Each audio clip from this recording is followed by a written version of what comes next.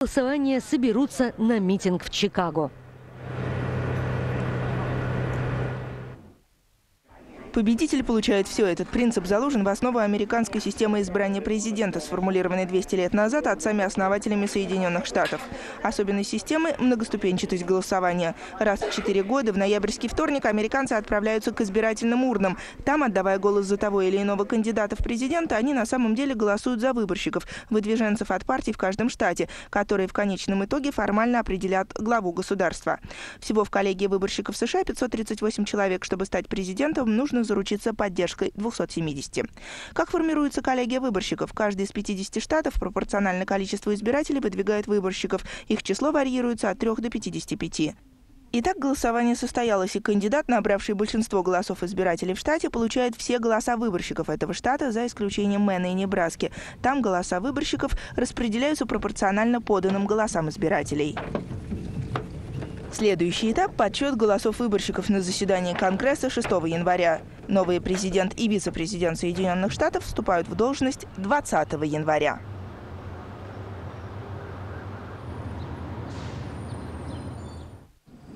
Штат Огайо направляет в коллегию для избрания президентов 20 представителей. Ни разу республиканец не становился президентом без поддержки Огайо. В 2000 и 2004 годах Агая поддержал Джорджа Буша. Маккейн надеется, что он тоже победит в этом штате. Но финансовый кризис повлек за собой трудности для американцев, живущих в ржавом поясе, депрессивном индустриальном регионе. В одном из графств штата, Сандаски, безработица самая высокая за последние 16 лет. Никакой работы нет. Чтобы поддержать свое существование, людям приходится продавать дома. Уровень безработицы в штате Огайо выше среднеамериканского – 7,2%. Люди меняют свои традиционные предпочтения и поворачиваются к демократам. Шерон Дэниелс считает. Только посмотрите, что случилось за эти 8 лет с Бушем. Я не думаю, что мы сможем вывернуться из этих трудностей. Дальше будет хуже и хуже. Конечно, и с Обамой может стать хуже. Но думаю, этого не будет. Я хочу перемен. Северу от Огайо лежит другой штат ржавого пояса – Мичиган, с автомобильной столицей США Дейтройтом. Тут зарегистрирован самый высокий уровень незанятости в США. Рабочие места сокращаются не только в автомобилестроении, но и в других секторах экономики. Автомеханик Дэн Бернс из Детройта считает себя счастливчиком. Мне еще повезло, что у меня есть хоть какая-то работа, хоть какая. Мой брат плотник и строитель уже давно сидит без дела. Мой лучший друг детства, сантехник. За этот год он, может быть, проработал только три недели. Это город Бейкерсфилд в Калифорнии, в другом ключевом штате Америки. Калифорния особенно сильно пострадала от ипотечного кризиса. В этом городе потерять дом из-за невыплаты ипотеки особенно высока. Многие могут рассказать такую историю. Выплаты по ипотеке выросли с 10 до 17 процентов после того, как мы перезаложили дом. И когда мы пытались консолидировать наш первый и второй залог в один, мы потеряли дом совсем. Работники этой неправительственной организации бесплатно измеряют давление желающим на одной из дорог штата Нью-Мехико. Необеспеченные американцы, страдающие сердечно-сосудистыми заболеваниями, не могут позволить себе сделать это за деньги. Но теперь медобслуживание стало малодоступным и для среднего класса. Стоимость страховки для частного лица просто чудовищна. Нам негде достать такие деньги. Это еще одно последствие кризиса. Каждый шестой американец больше не может оплачивать счета за свое лечение.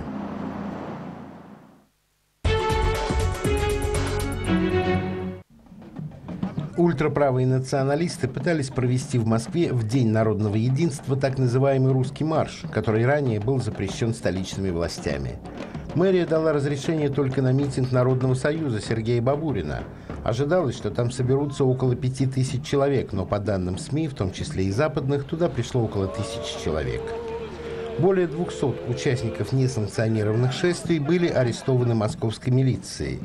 Представитель столичного управления внутренних дел Виктор Бирюков отметил, что молодые люди были задержаны не только в центральной части города, но и в других округах. Виктор Бирюков подчеркнул, что при задержании участников несостоявшегося марша милиция работала корректно, задержанные не оказывали сопротивления и не проявляли агрессивности.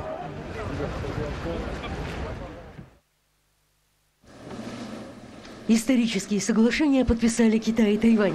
Они предусматривают увеличение в три раза еженедельных прямых пассажирских авиарейсов и прямые морские грузоперевозки между портами двух государств.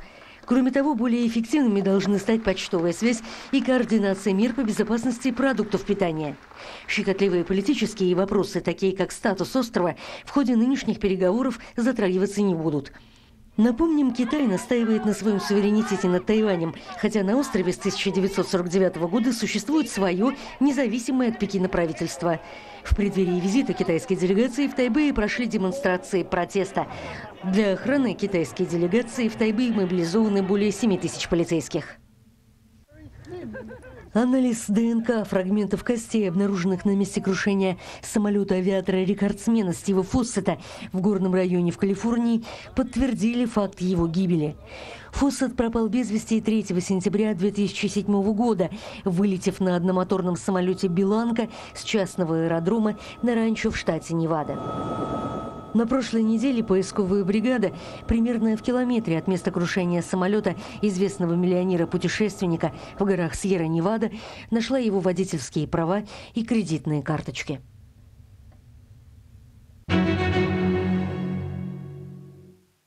Aeropages – поисковая система B2B на 26 языках.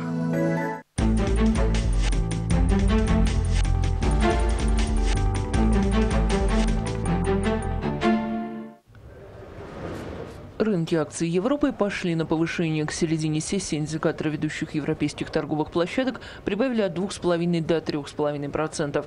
Отличные квартальные результаты таких компаний, как Marks Spencer, умерили страхи инвесторов по поводу прихода мировой рецессии.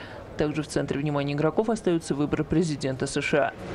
На другой чаше весов новость о промышленном спаде в США, из-за которой цены на нефть Брента в Лондоне опустились ниже 60 долларов за баррель. На азиатских площадках торги вторника закрылись на подъеме. Выросли акции финансовых компаний после снижения базовой ставки по кредитам Центробанком Австралии. Экофин за реформы министра финансов стран Евросоюза на совещании в Брюсселе поддержали предложенную Францией программу реформирования мировой финансовой системы. Теперь этот план обсудят на внеочередной встрече лидеров стран ЕС 7 ноября, а недели позже на мировом антикризисном саммите в США. Одновременно министры обсуждают, как бороться с кризисом в самой Европе. В третьем квартале экономика 15 стран зоны евро вошла в фазу рецессии. Накануне это признала Еврокомиссия. Если в прошлом году рост экономики региона составил почти 3%, то в этом, по оценкам Брюсселя, не превысит 1,2%. В следующем же прирост ВВП будет виртуальным, то есть почти нулевым. При этом глава Совета министров финансов зоны евро Жан-Клод Юнкер дал понять, что руководство Евросоюза в нынешней ситуации готово на смягчение условий пакта стабильности, который регулирует бюджетную политику государств зоны евро. Для решения проблемы дефицита ликвидности власти стран зоны евро закачали в финансовую систему триллион 700 миллиардов евро. Теперь им будет трудно удержать дефицит бюджета на уровне 3% ВВП, как того требует пакт. Власти ЕС до последнего времени выступали за жесткую бюджетную дисциплину, но кризис берет свое. Независимые эксперты считают экономический прогноз Брюсселя на будущий год даже чересчур оптимистичным. Aeropages – поисковая система B2B на 26 языках.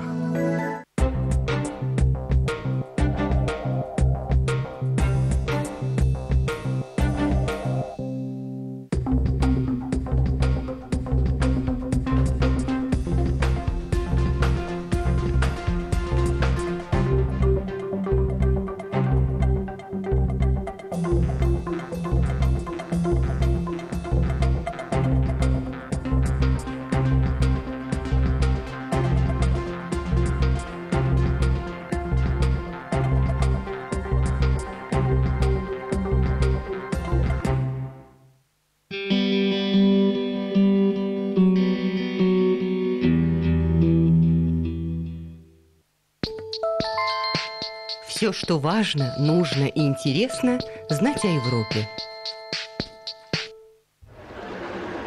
Временные работники не должны ущемляться в своих правах. После шести лет законодательных баталий Евросоюзу удалось юридически уравнять временных и постоянных сотрудников одного предприятия. Директива была одобрена Европарламентом 22 октября. В ее основу лег принцип «временный работник получает те же права и бонусы, что и постоянный сотрудник той же компании». Десять стран-членов Евросоюза уже интегрировали новые нормы в свое национальное законодательство. У остальных есть еще три года, чтобы сделать это. Разрабатывая законопроект, Брюссель намеревался одним выстрелом убить двух зайцев, ввести общеевропейские нормы для найма временных сотрудников и прояснить правила игры для агентств по трудоустройству, которые предлагают соискателям временные контракты. Французский депутат Европарламента Арлем Дезир считает новую директиву прорывом в социальной политике ЕС. Сейчас временная занятость распространяется все больше и больше. Нельзя, чтобы люди страдали из-за отсутствия единых нормативов в этой сфере. Экономическое право в Европе очень непростое и для компаний, и для рядовых граждан, то есть работников. Принцип равенства между временным и постоянным работником касается оплаты труда, продолжительности рабочего дня, перерыва на обед, отпуска, в том числе и отпуска декретного. Причем равные права начинаются с первого же дня работы, везде, кроме Великобритании. Там правила рынка труда требуют, чтобы получить преференции как у постоянных работников, временному нужно отработать в одной компании не менее 12 недель подряд – Директива Еврокомиссии эту норму сохраняет, но только как исключение. При этом ЕС ставит обязательные условия. Работник и работодатель должны заблаговременно договориться о таком положении дел. Наконец, временным работникам, а их в странах Евросоюза сейчас насчитывается около трех миллионов, станет легче повышать квалификацию. Кроме того, они получат доступ к таким социальным бонусам предприятия, как дотационная столовая, детский сад или транспорт. А вот вопросов охраны труда директива не касается. Более подробную информацию вы можете получить по телефону или из веб-сайта службы Европа на проводе.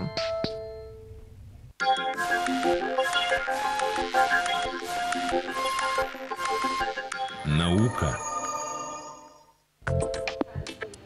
А вот и еще одно чудодейственное средство борьбы с болезнями, в частности с раком – фиолетовые помидоры. В природе их не существует, это генетически модифицированный сорт – созданный специально, так как в кожице содержится невероятное количество ликопена, вещества, считающегося едва ли не самым мощным антиоксидантом. Старение клеток, которые вызываются в частности оксидантами, приводят к возникновению тяжелых заболеваний. К ним ученые относят рак.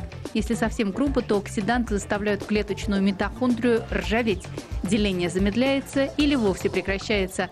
Если начать есть фиолетовые помидоры, дело можно как-то поправить. Мы проводили наблюдения, в результате которых выяснилось, что мыши, которые ели такие помидоры, в результате жили примерно на треть больше, чем мыши из контрольной группы. Так что результаты для нас очевидны, и мы ими удовлетворены. Кроме онкологических заболеваний, ликопен может помочь там, где присутствуют такие недуги, как ишемия или болезнь Альцгеймера. Но не для всех выводы ученых выглядят бесспорно.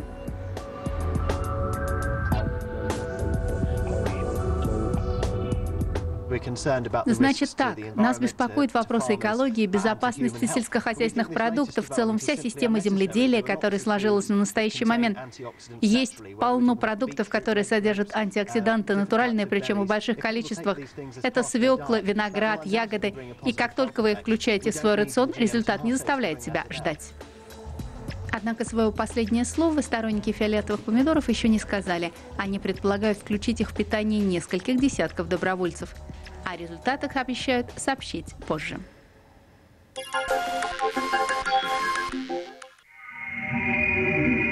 Путешествие по Вселенной агентством. За сменой времен года в этом уголке Швеции уследить трудно. Погода одна, прохладная. Как только знаменитые леса меняют окраску с багряной на серо-неуютную, становится ясно, что пришла зима. Именно здесь, в местечке Эсранг, проводятся соревнования по воздухоплаванию среди студентов европейских вузов.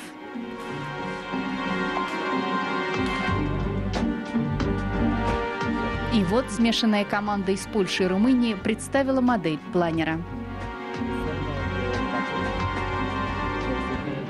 It's basically a это, по сути, аппарат, чтобы парить в воздушных потоках. Тут есть и кабина, но у него отсутствуют крылья. Вот этот киль, проходящий по вертикали, сообщает устойчивость при снижении, и помогает держать продольную устойчивость.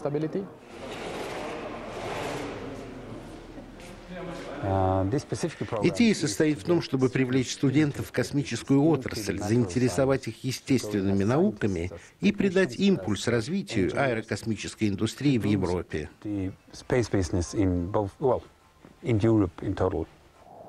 Все заинтересованы изучают облака. Чтобы старты были бы успешными, требуется малооблачная и безветренная погода. На стартовой и самой ответственной стадии студентам пока отводится роль наблюдателей. У штурвала профессионалы, которые отправляют в полет на высоту 29 тысяч метров воздушный шар, наполненный гелием. Эта операция требует большой предварительной подготовки и безупречной организации. В немецкой команде только девушки. Их интересует, как ведут себя воздушные потоки на большой высоте, в частности, как турбулентность вносит свои коррективы в течение полета. Вот сюда мы и поместим наши маленькие датчики. Один из них я захватила с собой.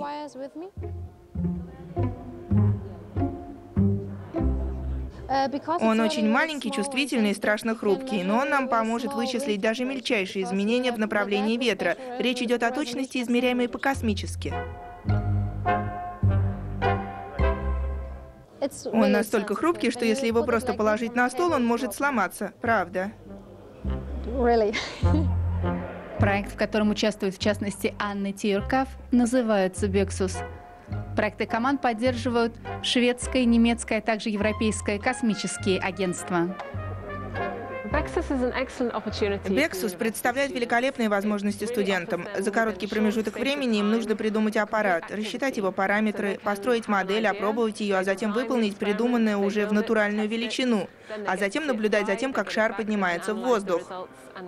Ну а затем после приземления проанализировать полученный результат. Задача для настоящего инженера.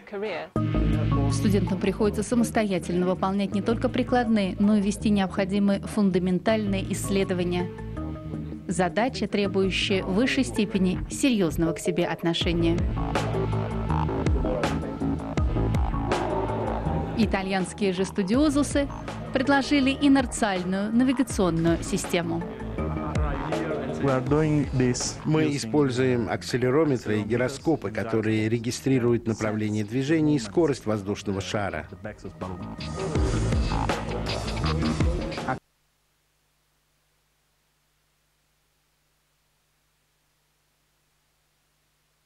Нас же собрали из дешевых деталей.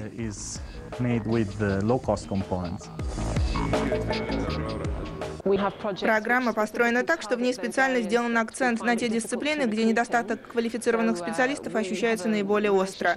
Мы сотрудничаем с отделами кадров, и менеджеры по работе с персоналом говорят, в этом году мы не можем найти инженеров, специализирующихся в навигации, а мы включаем пункт, где требуется именно эта квалификация, и таким образом у студентов появляется возможность по окончании вуза послать им свое резюме. Совсем раннее утро, 5 часов.